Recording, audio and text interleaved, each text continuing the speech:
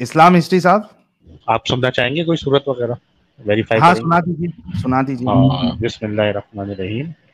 अलम तरा कैफा फ़अल रब्बुका फील अलम अलम यजअल कैदहुम फ़ी तदबीर अलैहिम तैरन अबाबिल तरमीहिम बिहिजारतिन मिन सिज्जील फजअलहुम माकूल बहुत ज़बरदस्त। मकसद ये है कि बहुत अरसे बाद और फ़र्स्ट टाइम आपके साथ जुड़ा हूँ और बहुत वेट करने के बाद तो पाँच मिनट तो आप दे सकते हैं ना?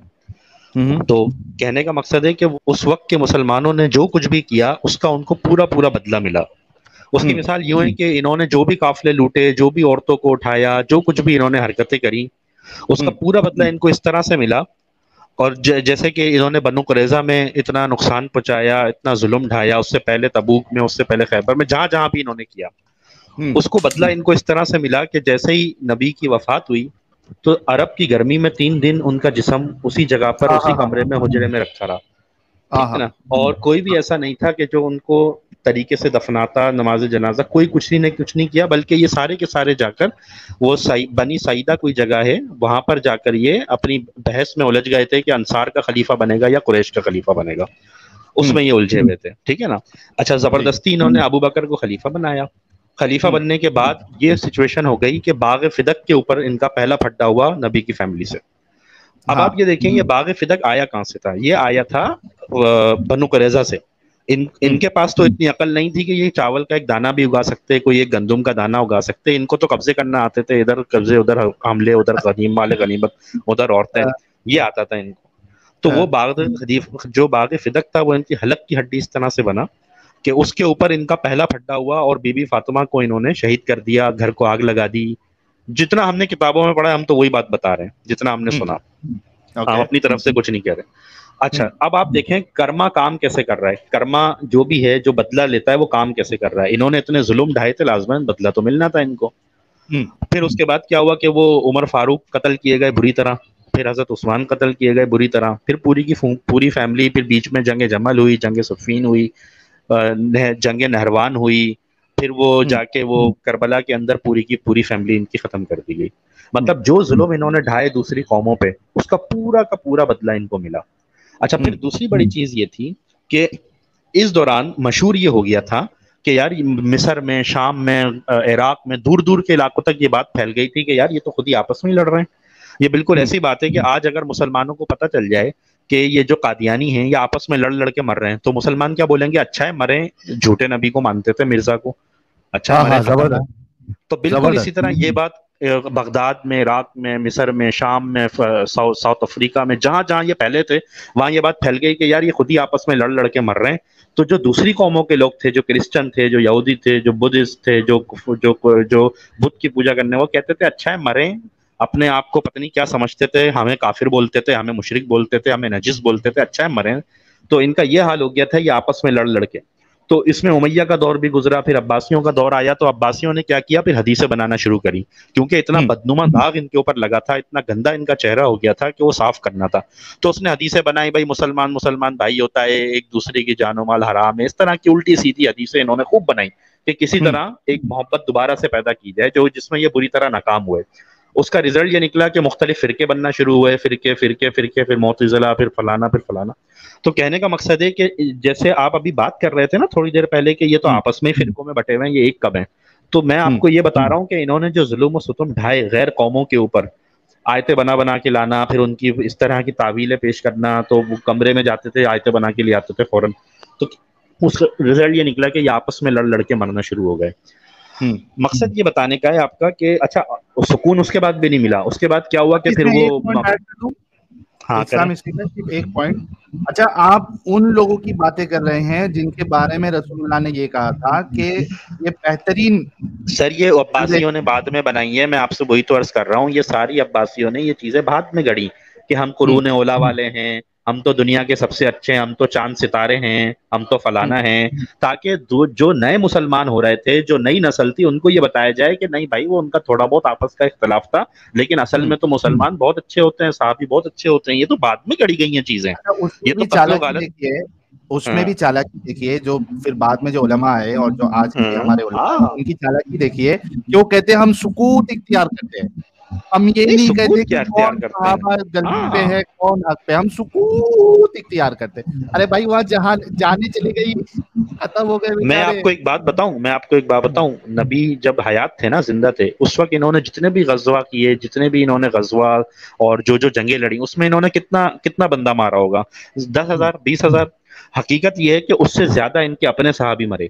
कहीं ताउन की हम्म। बीमारी में मर गए कहीं जंगे जमल में इतने सहाबी मर गए कहीं उसमें इतने मर गए सुफीन में मर गए नहर बल्कि वो खाने काबा पे तो कोई पता नहीं कितने हज़ार हज कर रहे थे लोग वो उसी वक्त घुसा था उसकी फौज घुसी थी जयाद की किसकी? उसने खाने काबा भी तोड़ दिया था आग लगा दी थी कितने हज करने वालों को कत्ल कर दिया था वहीं पे और पत्थर हम्म। निकाल के ले गया था। अबू मुताहिर था कौन था? और उसने जाके वहाँ हाँ। अबू ताहिर और गलत तरीके से उस पत्थर का इस्तेमाल किया था। तो सर ये जब उसके अंदर 360 बुत रखे हुए थे तो अल्लाह ने वो बाबील भेज दिए थे। जब उसमें बुत नहीं थे तो उसका ऐसा बेड़ा गर्क हुआ उसका तो अशरी करा हो गया था। तो कहने का मकसद सिर्फ़ ये है कि इनकी हिस्ट्री को आप थोड़ा सा मुख्तलिफ़ अंदाज से पढ़ें जब आप हम्म। मुख्तलिफ़ अंदाज से पढ़ेंगे ना तो आपको नज़र आएगा कि जुल्म सतुम का पूरा पूरा बदला इनको मिला जो इन्होंने हरकतें करी और बाद। तक मिलता रहा मतलब वो खत्म नहीं हुआ फिर वो इनको बदला कहाँ मिला जो इन्होंने बगदाद को बड़ा अच्छा शहर बना दिया था फिर तातारी आए उन्होंने कत्ल किए अच्छा अब आप इस दौरान ये देखें कि कुरान पाक का क्या हशर था उ, उस वक्त कोई प्रिंटिंग प्रेस तो होते नहीं थे तो या तो एक कापी फलाने बादशाह के पास एक कापी फलाने बादशाह के पास वो हज्जाज बिन यूसुफ बैठा हुआ कभी उसमें सबर लगा रहा है कभी जेर लगा रहा है अपनी आयतें ऐड कर रहा है कुछ आयतें निकाल रहा है वो सबसे बड़ा कातिल तो हज्जाज बिन यूसुफ है जिसने जाके साहबाओं को खूब कत्ल किया था दिल भर के हम्म। जिसे कहते हैं ना उसने अपनी जो भड़ास थी मैं ये समझता हूँ साहिल कि जिन जिन यहूदियों जिन क्रिश्चियन या जिन जिन कुफार मक्का जिनको ये कहते हैं उन लोगों के साथ जो इन्होंने जुल्म किया ना उन्होंने फिर इनसे बदला इस तरह से लिया कि उनके जो बचे कुचे लोग थे इधर उधर के कबीलों के वो झूठे कलमे पढ़ते थे वो कहते थे इनको कलमा पढ़ के इनको मारेंगे हम वो इनके हम्म। अंदर आते थे हम्म। उल्टी सीधी हदीसें बयान करते थे इधर का वाक्य उधर उधर की बात उधर उधर की चीज़ उधर और इनको आपस में लड़ाना इनको खत्म कर दिया उन्होंने अंदर इस बदला लेने का इसके अलावा कोई तरीका ही नहीं था इन लोगों से तो हम्म। उन्होंने इसका खूब फ़ायदा उठाया। उन्होंने ऐसे ही झूठे कलमे पड़े कोई मस्जिद का इमाम बन गया कोई गवर्नर की सीट पर बैठ गया कोई कहीं बैठ गया। उसने जितना नुकसान वो पहुँचा सकता था उसको लाजमन अपनी फैमिली का बदला लेना था अपने खानदान का अपने कबीले का बदला लेना था और वो इसी तरह ले सकता था। तो ये मैं मुख्तसर बस ये बात थी जो करने की। बाकी लोग खुद ही कड़ियाँ मिलाते चले जाए समझ में आता चला जाए। क्या बात क्या ज़बरदस्त। ये बात इसीलिए मैं कह रहा था मुझे पाँच मिनट देते हैं आप मुझे कॉल मेरी काटना चाह रहे थे लेकिन मैंने आपसे रिक्वेस्ट की जनाब मुझे नहीं पता था ना कि आप धोती खोलने वाले हैं। मुझे लगा हमको पता नहीं था आप धोती खोलने के लिए आए हमको लगा था कि आप वो नॉर्मल हाँ, और जिस तरह जिस तरह से ये चीज़ें फिर इन्होंने किताबें बाद में घड़ी बुखारी ने फिर हदीसें घड़ी फिर इनके मुकाबले होते थे उधर इसराइल में फलस्तीन में पता नहीं कहाँ कहाँ ये मुकाबले करते थे। वहाँ वो अपने वाकयात सुनाते थे या अपने झूठे वाकयात सुनाते थे। ये बोलते थे नहीं है तो ऐसा था आप वो जाओ उस वक्त लिखत में तो कुछ था ही नहीं। बोल हम्म। बोल चल रहे होते थे अब मिसाल के तौर पे किसी ने कह दिया कि ये फलानी बात इस तरह से अब उसने उसकी चेन भी बना ली कि ये तो उसने उससे कहा था आना आना आना करके एक चेन बनाता चला गया अब वेरीफाई कहाँ से करोगे जाओ कर लो जाके वेरीफाई जो बात हम्म। मैंने कह दी तो बुखारी जा जाके ऐसे ही लोगों से एक तो वो मुझे समझ में नहीं आता शुरू के बुखारी साहब के जो शुरू के दिन थे वो तो सारे नाबीना में गुजरे वो जब हाँ। अंधे थे क्या मसला था उनका फिर उन्होंने जो है वो कहते हैं कि 25 लाख अदीसें जमा कर ली। यार, मुझे एक बात बताओ, इंसान अपनी 60 साल की ज़िंदगी में या जो भी उनकी 50 साल की ज़िंदगी थी, उसको थोड़ा डिवाइड तो करो। कोई 25 लाख हदीसें जमा कर सकता है? अकल है कोई सोचने की बात है, अगर एक दिन में आप एक आदमी से भी मिलते हो, एक एक दिन में आप दो आदमियों से भी मिलते हो, तीन आदमियों से भी मिलते हो तो जरा मल्टीप्लाई तो करो। पच्चीस लाख का फिगर तो बैठता ही नहीं है। और फिर जाके हम्म। उसको वेरीफाई करना कि ये हदीस वो फलाना एक आदमी घोड़े को घास खिला रहा था तो मुझे लगा कि वो धोखा देगा। ये तो इनका तरीका था हदीसें जमा करने का। इस तरह हदीसें जमा होती है कि घोड़े को घास खिला रहा है और फलाना कर रहा है। छोड़े अभी क्या बात करें यार। बस ये है। और फिर इसके मेरी बीच में काफ़ी उलमा से बहस भी हुई। मैंने कहा जब एक आदमी ने हदीसें जमा कर ली थी बुखारी साहब ने कर ली थी ना हदीसें जमा तो ये शाफी हाँ। को क्या पड़ी थी हदीसें जमा करने की तिरमिजी को क्या पड़ी थी? फिर उन्हीं के अंदर जाके अपना कॉन्ट्रीब्यूशन ऐड करते अलग से किताबें लेके क्यों बैठ गए? तो नफरत तो इन लोगों में इतनी थी कि एक दूसरे का चेहरा नहीं देखते थे ये ये हदीसें कहाँ से वो करेंगे? और वो हम्म। वो अलग किताबें बना रहा है हमली की अलग किताब तिरमिजी की अलग किताब और फलाने की अलग किताब छह सात साढ़े सत्ता पत्नी कितनी किताबें बन गई। और तुम बैठ हाँ। के एक हो एक किताब बनाओ हदीस की उसमें देखो कौन सी क्या चीज़ है उसको एक दफ़ा रिसर्च का काम करो सब अलग अलग बैठे अपनी क्या बोलो? तो ये अच्छा उसमें भी उसमें भी आप देखिए कि हदीस के मामले में भी इख्तलाफ है।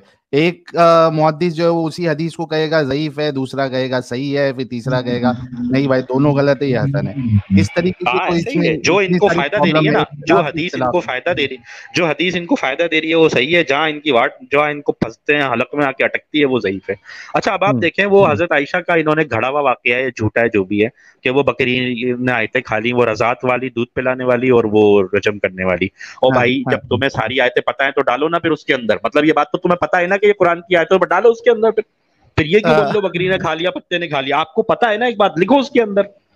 नहीं ये इस तरह की इनकी हरकत है। ये चीज़ है इस तरह इन्होंने कुरान जमा किया है। अब इनको मोटी किताब भी दिखानी थी बाइबल मोटी थी तौरात मोटी थी यहूदियों ने बहुत सारी किस्से जमा किए हुए थे। इन्होंने कहा हमें भी तो अपनी किताब मोटी दिखानी है। तो इन्होंने क्या किया? हाँ। इधर के किस्से उधर के किस्से मोटी किताब दिखानी है। कोई पाँच सौ हाँ। छह सौ सफे की होनी चाहिए। देखो हमारा इस्लाम भी तो पाँच सौ छह सौ सफे का है। तो इन्होंने उसको भर दिया वाकयात से भर दिया। अच्छा एक ही बात रिपीट किए जा रहे हैं। वो जन्नत हाँ। होगी उसके नीचे जो शहद बहरा होगा एक ही बात रिपीट किए जा रहे हैं किए जा रहे हैं किए जा रहे हैं। वो सिर्फ़ हाँ। सात सौ दफ़ा रिपीट कर दी यही बात की जन्नत में नहरें होंगी और नीचे पानी बहरा होगा और शराब बहरी होगी। एक ही बात रिपीट कर करके उसको मोटा कर दिया। फिर उसके अंदर यूसुफ सलाम का यहूदियों से पूरा वाक्य ऐसे के ऐसे लिख के डाल दिया। सारी हम्म। चीज़ें उठा के ऐसी की ऐसे लिख के डाल दी। इस तरह इन्होंने कुरान जमा किया यही हाल इनका हदीसे जमा करने का था। ये इस तरह से अब्बासियों की और उमैयों की घड़ी हुई हदीसें। उमैयों के बारे में तो सच वाला साहब कहते भी हैं, वो लोग तो वो थे, ईसाई थे, क्योंकि उन्होंने तो जब मक्का फतेह हुआ था, जो भी हुआ था तो सुफियान वफियान ने इस्लाम थोड़ी कबूल किया था। उन्होंने कहा, यार, ये क्या बला आ गई?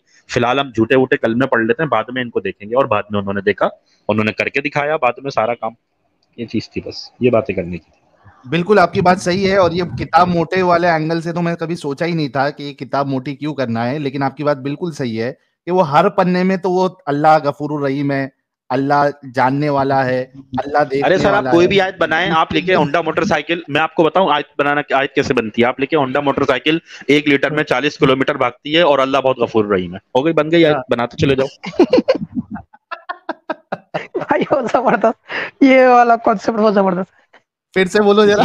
किसी भी बात को यूँ शुरू करो ए ईमान वालो मोटरसाइकिल 40 किलोमीटर चलती है एक लीटर में और इन अल्लाह अला कुल्ली शैन कदीर। ये लो आयत बन गई। कितनी आयतें बनवानी है? अरे भाई तो बहुत भारी है भाई। और यही मामला दिखते दिखने में भी आता है। वो कुछ बात हुई नहीं कि फिर भाई ऐसे ही है ना। भाई जितनी भी आयतें हैं मदनी आयतें जितने भी हैं वो सारी रिएक्शनरी हैं। वो तला। बिन जुबैर ने कह दिया आप आपके इंतकाल के बाद मैं आयशा से शादी करूँगा जो उनका कज़न था अभी बकर नाम था क्या नाम था? तो वो जल्दी से गए नहीं नहीं तुम्हारी माँ है पागल हो गया है तेरी माँ के बराबर ही है। हाँ। अच्छा हज़रत खदीजा उम्मातुल मोमिनीन नहीं है क्या? हज़रत सौदा नहीं है क्या? ये आयतें आयशा के वक्त में ही आ रही है सारी। उससे हाँ, पहले हाँ, क्यों नहीं आ रही? अच्छा फिर आप फिर एक चीज़ ये नोट करो हज़रत खदीजा की हदीसें किधर है? जो हाँ, जो इस्लाम की बुनियाद डाल रही है जो ये बता रही है कि कहाँ से क्या हो रहा है उसकी तो हदीस ही नहीं है जिसके साथ इतना वक्त गुजारा है। आयशा के साथ हम्म। दो चार साल गुजारे आधा इस्लाम आयशा से ले लिया उठा के। आठ साल गुजारा है हज़रत आयशा के साथ। आठ साल नहीं सॉरी नौ साल। नौ तो साल पूरा इस्लाम वहीं से उठा लिया। हाँ नौ साल में पूरा वो शुरू में इस्लाम था ही नहीं ना भाई शुरू में था ही नहीं इस्लाम। वो एंड हाँ, में ही तो जुनून चढ़ा एंड में। इधर की उधर उधर की इधर इधर की उधर बस उठा के जमा करते चले जाओ जमा करते चले बस ये मैं मैं हिस्ट्री को इस तरह से पढ़ता हूँ मैं ये देखता हूँ कि आपके साथ हुआ क्या। मतलब मैं ये नहीं देख रहा होता कि क्या जन्नत क्या मैं ये देख रहा होता हूँ आपके साथ क्या हुआ? पता चला जी इनके साथ तो बहुत ही बुरा हुआ जुल्म का बदला जुल्म। मिला हम्म। आपको पूरा का पूरा बदला मिला हम्म। अब वो आपने नहीं पढ़ा अली हज़रत अली जो थे वो बकायदा बाल चेक करते थे बनु कुरेजा में बाल चेक करके उन्होंने कत्ल किए और पता नहीं कितने हम्म। लोगों को तो इन्होंने जलाया है तो करबला में उनकी पूरी फैमिली खत्म हो गई कहाँ के बाल वो भी आप बता दें ताकि लोग बता रहे कि किस बाल की बात कर रहे हैं आप। मैं वही तो नाफ के बाल चेक करना प्यूबर्टी चेक करना ये सारी चीज़ें ना किताबों में लिखा है इनकी किताबों में लिखा हुआ है हम अपनी तरफ़ से थोड़ी कह रहे हैं। तो जो हम्म। इन्होंने किया वो इनको मिला पूरा पूरा बदला मिला। ये असल में मुसलमानों का सबसे बड़ा मसला ये है साहिल भाई ये समझते हैं कि अल्लाह सिर्फ़ इनका है खुदा सिर्फ़ इनका है। ये जो कुछ उल्टा सीधा जो दिल चाहे करेंगे खुदा माफ़ कर देगा। तो हाँ, हाँ। बाकियों का तो खुदा ही नहीं है बाकियों का तो कोई ताल्लुक ही नहीं है खुदा को अब एक गधे तुमसे ज़्यादा रिस्क अल्लाह उनको देता है तुमसे ज़्यादा साइंस टेक्नोलॉजी हर चीज़ उनके पास है तुम तो क्या कहते हैं भूखे नंगे और फकीर हो तुम्हारे पास है क्या कुछ भी तो नहीं है। इतना बुरा हाल है इनका और ये ये इनकी सोच इस तरह की है वो आप कहते हो ना अक्सर अंधी सोच दिमाग दिमाग काला पड़ जाता है। पत्थर पड़ जाता है तो वो हाल है हाँ। इनका। ये समझते हैं अल्लाह सिर्फ़ हमारा है बस। हम्म। बहुत ज़बरदस्त यार मज़ा आ गया एकदम इस्लाम हिस्ट्री भाई।